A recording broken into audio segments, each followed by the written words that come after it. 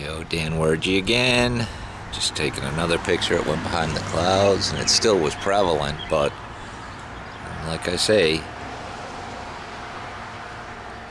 June 30th, 2011, about 12 20 p.m.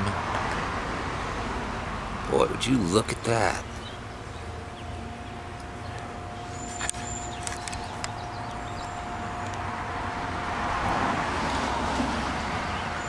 Alright, it's hard for me to see if I'm getting this because obviously it's right in the sun.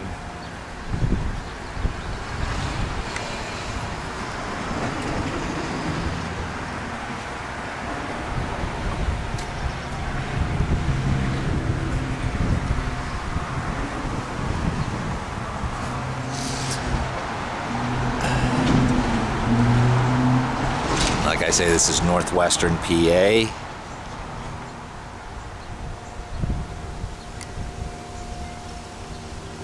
June 30th, 2011.